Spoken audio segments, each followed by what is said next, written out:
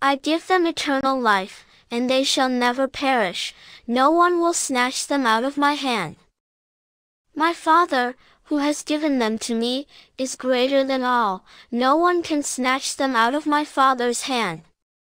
I and the Father are one. John 10 verses 28 to 30. For those who find me find life and receive favor from the Lord. Proverbs 8 verse 35. The world and its desires pass away, but whoever does the will of God lives forever. 1 John 2 verse 17. And the God of all grace, who called you to his eternal glory in Christ, after you have suffered a little while, will himself restore you and make you strong, firm and steadfast. 1 Peter 5 verse 10. And this is the testimony, God has given us eternal life, and this life is in his Son. 1 John 5 verse 11. So we fix our eyes not on what is seen, but on what is unseen, since what is seen is temporary, but what is unseen is eternal. 2 Corinthians 4 verse 18. For God so loved the world that he gave his one and only Son, that whoever believes in him shall not perish but have eternal life. John 3 verse 16. For our light and momentary troubles are achieving for us an eternal glory that far outweighs them all. 2 Corinthians 4 verse 17. I write these things to you who believe in the name of the Son of God so that you may know that you have eternal life. 1 John 5 verse 13. Search me, God, and know my heart. Test me and know my anxious thoughts. See if there is any offensive way in me, and lead me in the way everlasting. Psalm 139 verses 23 to 24. Now this is eternal life, that they know you, the only true God, and Jesus Christ, whom you have sent. John 17 verse 3. And I heard a loud voice from the throne saying, Look, God's dwelling place is now among the people, and he will dwell with them. They will be his people, and God himself will be with them and be their God. He will wipe every tear from their eyes. There will be no more death, or mourning, or crying, or pain, for the old order of things has passed away.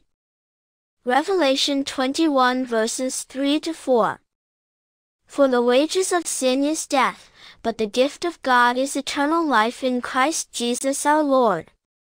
Romans 6 verse 23.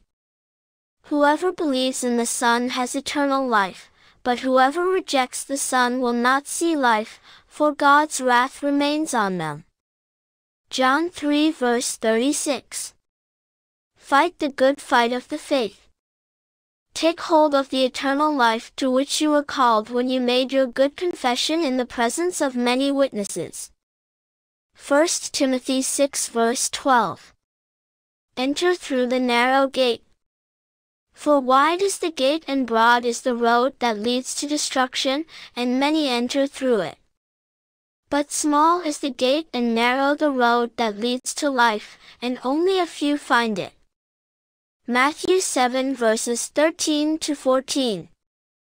I consider that our present sufferings are not worth comparing with the glory that will be revealed in us. Romans 8 verse 18. But whoever drinks the water I give them will never thirst. Indeed, the water I give them will become in them a spring of water welling up to eternal life. John 4 verse 14. Whoever finds their life will lose it, and whoever loses their life for my sake will find it. Matthew 10 verse 39. I am the Alpha and the Omega, says the Lord God, who is, and who was, and who is to come, the Almighty. Revelation 1 verse 8. Whoever sows to please their flesh, from the flesh will reap destruction. Whoever sows to please the Spirit, from the Spirit will reap eternal life. Galatians 6 verse 8. Never again will they hunger. Never again will they thirst. The sun will not beat down on them, nor any scorching heat. For the Lamb at the center of the throne will be their shepherd. He will lead them to springs of living water. And God will wipe away every tear from their eyes. Revelation 7 verses 16 to 17. But for that very reason I was shown mercy so that in me, the worst of sinners, Christ Jesus might display his immense patience as an example for those who would believe in him and receive eternal life. 1 Timothy 1 verse 16. Therefore he is able to save completely those who come to God through him, because he always lives to intercede for them. Hebrews 7 verse 25. So that, just as sin reigned in death, so also grace might reign through righteousness to bring eternal life through Jesus Christ our Lord. Romans 5 verse 21.